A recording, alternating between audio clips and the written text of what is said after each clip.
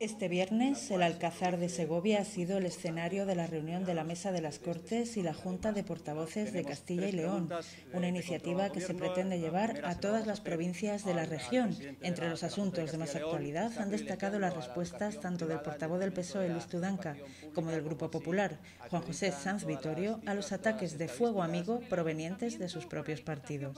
Bueno, yo, yo lo que le digo es que yo, desde luego, y como secretario general de los socialistas de Castilla y León, todos los cargos del Partido Socialista en esta tierra, todos los militantes estamos ocupados y preocupados en esto, en las urgencias de Segovia y su mejora, en la reversión de los recortes del Partido Popular, en la garantía de las pensiones y su actualización.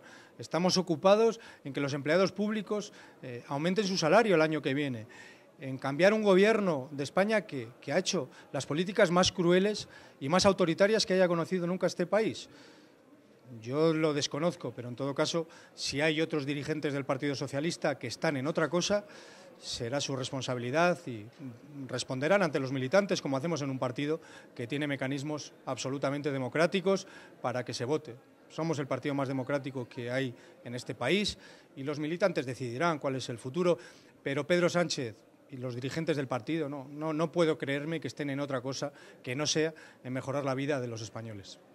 Le aseguro que si yo, soy, yo estoy eh, realizando las funciones del portavoz en mi condición de viceportavoz, porque así lo ha decidido el presidente del grupo, que coincide también con el presidente de la Junta y el presidente del partido. Y efectivamente el procedimiento para eh, nombrar portavoz es proponerlo al grupo, porque es el grupo quien tiene que elevar la decisión a la mesa y firmarlo los componentes de los grupos. Por lo tanto, se están siguiendo el procedimiento habitual. Y a partir de ahí Mire, le aseguro que yo estaré donde considere el presidente y mi grupo que puedo ser más útil.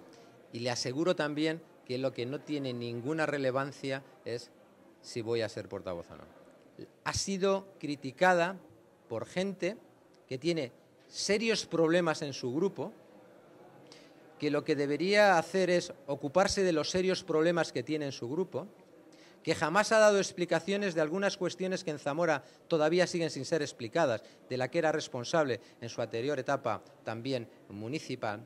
Y es curioso que quien ha criticado, es verdad que desde las propias filas, con una torpeza y una miopía política probablemente sin precedentes, ¿eh? no tiene la más mínima talla para poder censurar o criticar a Rosa Valdeón. Esa es la